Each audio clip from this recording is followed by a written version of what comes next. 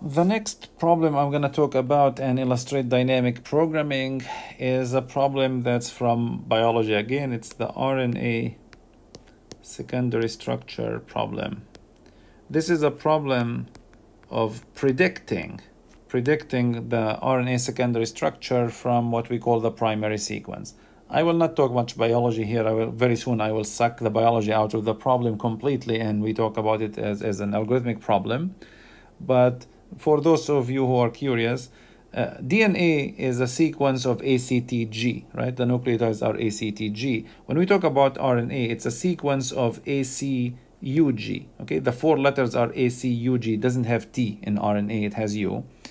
Uh, DNA is there's the famous double helix structure of DNA. It's double helix, right? So we have two copies or two strands of DNA. This is for DNA. RNA is just one strand. RNA is single stranded, most RNA. And because it is single stranded, one of the interesting things that RNA does in the cell is that it folds onto itself. So it folds onto itself, it forms loops and stuff like that. So so what I mean by it folds itself, so if this was the sequence from position 1, 2, 3, whatever, all the way to 500, this becomes 1, 2, 3, all the way like this. And this is position 500 here. Okay, so it falls and forms these kind of, of loops here and uh, all other terms, hairpins and so on. Okay, and the RNA secondary structure problem is that we want to go from this sequence. Someone gives you a sequence like ACC, UACC, you know, G, and say, okay, this is the input. This is the output. I want, you know, the output is, I want this, uh, you know, secondary structure and so on, okay? So this is the RNA secondary structure problem and we cannot talk i don't cannot talk about biology and chemistry anymore. We need to move into the actual problem. And the problem we talk about to illustrate dynamic programming is really a bit simplified as well from the actual biological problem. So what is the problem that we deal with in the rna secondary uh, structure problem? So we have a string we have string b of rna so b1 b2 b3 all the way to Bn. So these Bi's are in A, C, U, G. This is the alphabet, okay? So each Bi here is one of these four letters. So we have a string over this alphabet, uh, over this alphabet A, C, U, G. Secondary structure, what is the secondary structure? How do we define secondary structure mathematically? Is what we want, so this is the input, the output. It's a set S of pairs ij such that you know i and j are between 1 and n. i is always smaller than j in this case and the ij is but it has a lot of constraints on it okay so every pair here every pair ij in S must satisfy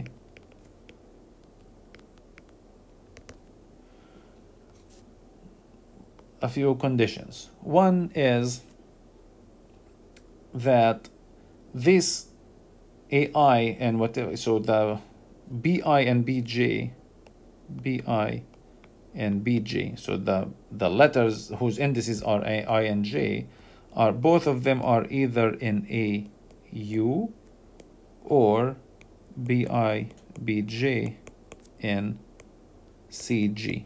Okay, so if you give me pair 2, 7, then the letters at positions 2, 7 must be either one of them is A, the other is U, or one of them is C, the other is G. It can You cannot give me a pair such that one of them is A and the other is G. Okay, this is known as, this is about complementarity here. So when, when RNA folds, you cannot match a with G or, or fold A onto G or U onto C or anything like that. So this is one of the conditions here.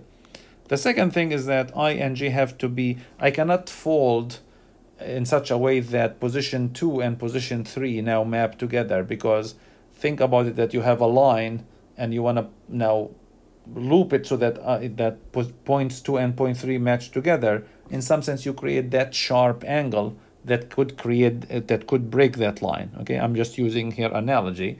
So what we say in rna that we don't want any sharp turns. So if i j r n s i must be smaller than or equal to j minus 4 so these i and j must be separated by at, at least four positions. So you cannot give me i is 2 and j is, is, is 3 you cannot give me i is 2 i is 2 and and j is is 5 if you give me i is 2 j must be at least uh, yeah j must be at least 5 sorry. If i sorry at least 6 6 or 7 and so on okay? So i must be smaller than j minus 4 okay? Remember that i is smaller than j and the sec the third one of course when we do this matching is no base pair appears in more in more than one pair. So i for example if you give me i and j no so okay. This is not about every pair here. It's not about every pair. So this is about every pair of ij now we go if if ij and kl are in s both of them are in s then it must be that ij and kl is empty. Okay the intersection of these two is empty. You cannot use i more than once in the solution. You cannot use j more than once or k or l or anything like that okay? And the, the last uh, thing the last condition here about them is that if i and j and k and l are in the solution in these two pairs then we can't have we cannot sorry then doesn't make any sense then it can't be that i smaller than k smaller than j smaller than l okay? So if you if i give you an, an rna sequence and you tell me that this pair maps together i and j you cannot give me another pair that will overlap. You cannot give me something like this. K and l. This is not good. This is good. I j here k l here. This is fine. And this is fine as well. I j and k l okay? This is fine as well. But the other one where they are interleaved this is not good okay? So we have these four conditions. I want the output to be a set of pairs and every pair i and j must satisfy this condition here that either the two are a and u or, or c and g. I must be smaller than uh, j minus 4 and the same index in the letter cannot be used in more than one pair and we cannot have these crossing pairs and one thing that I haven't said so far, if you look at this problem, actually this is an interesting point to raise, even though I should have written it there. But if you look at this and I, someone gives me you the input, a sequence, and say, give me a solution to this problem, this is an, a very easy problem. You can have an O of 1 algorithm to solve it by returning the empty set. The empty set satisfies all these requirements. What makes this problem hard is that we are looking for S we are looking for S with maximum size. Okay, so we want the largest set S possible that satisfies these. Okay, so you cannot give me just the empty set. So this is our problem. We want to, to find a solution to, to this problem. And now we need to think to reason about it. We need to reason about it uh, recursively. And here's how we are going to reason about it. Uh, remember that I have the RNA sequence here all the way from 1 to n. But I will now look at, I will index my solution or my, my uh, recursive solution by i and j. Uh, opt ij is going to be the solution on the string from letter i to letter j. Okay, so I will be looking at them like this at the end, of course, what I need to return is opt1n. Okay, so I will be looking at a segment here from i to G. and I will start expanding this out until I get all the way to, to n. Uh, but I want to now opt ij is the the size of s. Okay, so the maximum number of pairs that satisfy the conditions on the string on the string bi bi1 plus 1 all the way to bg okay? And again this is at the end what we want to return. And now we need to reason about about uh, about this opt of ij we need to reason about it recursively okay so let's look at it recursively now and here are my letters so this is letter J, this is J minus 1, and this is I, and so on. Okay. So now the question is, I'm, I'm going to focus on this letter J, and I'll say, is it part of a solution? What does it mean to be part of a solution? Is that does S have a pair, one of the elements is J, right? I mean, J is at the end, so it must be the, the, the element on the right, and there is some other element T here that goes with it. So we are saying, does J pair with some other element between i and j minus 1 that, uh, that is part of a solution. And now let's reason about it. As we said, as we have been seeing so far in all the examples, the answer is not yes. The answer is not no. The answer is to evaluate both scenarios, both scenarios if they are possible, if they are feasible, to evaluate both of them and take the best of the two. Okay? So we have two scenarios here. One is, one scenario is J is not part of any pair of any pair in the solution on bi to bj okay so if we say j is not is not in a solution then what is opt of ij? If opt of ij is the number is the maximum number of pairs that where the indices are from i to j, and we say j is not involved, then our solution must if j is not involved, then our solution must be somewhere here, which is opt of i j minus 1. So if if if j is not, then opt of ij is nothing but opt of i j minus 1 right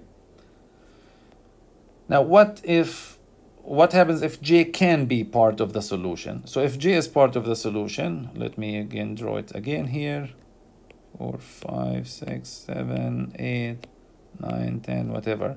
So if j is part of the solution and this is i, it must map with something, right? It must map with some, it is part of a solution on the letters from i to j, okay? So I'm not, I'm ignoring everything before i, I'm ignoring everything after j. So it must match with something here, okay? So this is a pair, let's call this t. So what we are saying is that the pair t, j is in the solution. If tj is not in the is is in the solution, then opt of ij opt of ij for sure has one one element in it, right? I mean, it has one because there's at least one pair in S, which is the pair Tj. Plus, now where what else we can where can we now apply the solution? Because of the non-crossing condition that I cannot I cannot have a situation like this. I cannot have, for example, something like this, right? Because we cannot have this, sorry. Now we need to look for solutions. We need to look for solutions before t, somewhere here, and we need to look for solutions here as well. Because if I look at pairs that are formed from here, they are not going to intersect or cross tj. If I look for pairs here, they are not going to overlap with the tj pair okay? And remember this is a cartoon here. When i say when i have just four squares there please don't think about it just four because that already violates some condition okay? But imagine that there's enough sufficient squares here sufficient squares here. So if if ij if tj is part of the solution then opt ij has already one 1 because of that pair tj plus I need to look for the solution from i to t minus 1 and I need to look for this is region 1 here. This is region 1 and I need to look for solutions in region 2 which is opt of t plus 1 j minus 1 right so this is basically what we have here. We have this option that j is part of the solution and this will be opt ij and we have this which is opt uh, j is not part of the solution and we take the max of these two. Okay? We take the max of these two. This is it's as simple as that. Of course you know for j to be part of the solution and j and t uh, uh form a pair then t must be smaller than j minus 4 and t and j bt and bj must be either au or cg and so on right? So that these must be conditions in the pseudocode and this is, you know, if I want to write the pseudocode now, basically what we have now, and bas basically we initialize, initialize, you know, this matrix opt. Okay, I don't want to keep just using a, but matrix opt. This is matrix now, zero, for every, uh, whenever i greater than j minus 4, initialize it to 0 because we cannot have this these pair together. Now, because i and j must be separated by at least uh, 4 elements, we can now say for k equal 5 to n minus 1 and 4 i equals 1 to n minus k. So this is actually, these two loops are forcing me not to take i and j that are too close to each other. I can take j to be i plus k. And now I can say opt of i, j is again the maximum of these two scenarios. One is j is not part of the solution, in which case let me look for opt between i and j minus 1, or t is part, uh, j is part of the solution, in which case let me look for, I add 1 plus the solution from i to t minus 1 plus opt of t plus 1 to j minus 1. And of course, this here, for this condition, we have to have the t has to be between i and j smaller than j of course and greater than i and of course b bj and bt have to be either in au or bjbt are in cg okay and of course t and g have to be separated uh, by at least four letters so this is the algorithm Okay, and then at the end we return opt at position 1 and n. Okay, so this is the dynamic programming algorithm. Again, if you implement this recursively, it's going to lead to a blow up. If you implement it like this, you will get an efficient algorithm. Here, notice that this is O of n, right? And this is O of n. But you have to be careful here. This one is not O of 1 now because look at the t the t can can uh, vary between i and j okay uh, the t can vary between i and j uh, because we are looking for it okay so this is not o of 1 here it is o of n as well so we have three nested loops each of which can take in the worst case o of n therefore we have o of n cubed here okay so this is the dynamic programming for RNA secondary structure and once again, we are always reasoning in the same way. We are trying, we, we, we first, we have to look at some sort of an order, okay? We some sort of an order. When we looked at the compatible, weighted compatible intervals, we sorted them by their finish time. When we looked at the longest increasing subsequence, again, the sequence itself is already sorted and we look at one element. When we looked at all pairs shortest path, remember that we had to, to assume that the nodes are numbered 1, 2, 3, all the way to n, and that allowed us to look at you know subsets or subsequences of these of these nodes from 1 to k. When we looked at longest common subsequence, it's the same thing. The two sequences have their natural order, like the letters are already ordered. Here it's the same thing, and we always ask a question about let me reason about an element. Is it part of the solution or is it not part of the solution? The answer is not yes, the answer is not no. We evaluate both and we take the one that results in a better solution. Okay, better as in gives rise to a better optimality. Okay, and the same thing here, if I want to look at the RNA secondary structure, and if I want to get the RNA secondary structure itself, I have to do trace back on this, and I leave that to you as an exercise, or you can find it in books, okay? This is not a, a big deal. But even if you find it in books, you should not just say, okay, it's in a book. What, what the reason you need to, to, to figure it out is because you should be able to figure out also the trace back algorithm for finding the solution. Because the solution the problem here was not talking about what is the maximum number of, of pairs. It was talking about the set of pairs. So i want the set of pairs themselves not just the value. In dynamic programming we always define the, the function the recursive function and the recursive formula in terms of the optimality criterion. But when we need to get the actual elements of the solution we have to do the trace back